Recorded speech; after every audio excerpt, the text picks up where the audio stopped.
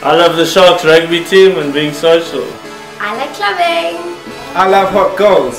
I don't know what I want to be. I love Arsenal. I like making new friends. My passion is to help people.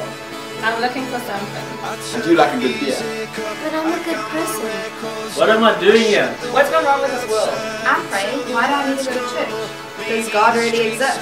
What about my ancestors? What's so special about this guy? Enjoy every moment. Who's this guy called Jesus? And I